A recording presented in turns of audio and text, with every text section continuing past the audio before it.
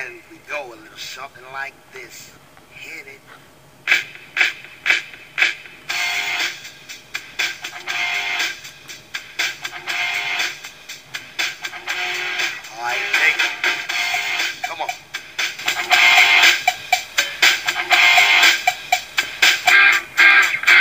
Red Sox hero for the year. Oh, I tell ya, he's the king. Tying up hitters with his looping curve like he's pulling on a string. In the middle innings, he's the best. Though his windup is absurd.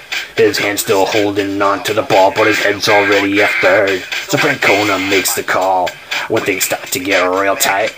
And in comes Oki with his wicked junk running straight to the mouth from right. Us fans used to fret and worry, coughing like we got emphysema. But now all of Boston knows just what to do, bringing funky Okajima.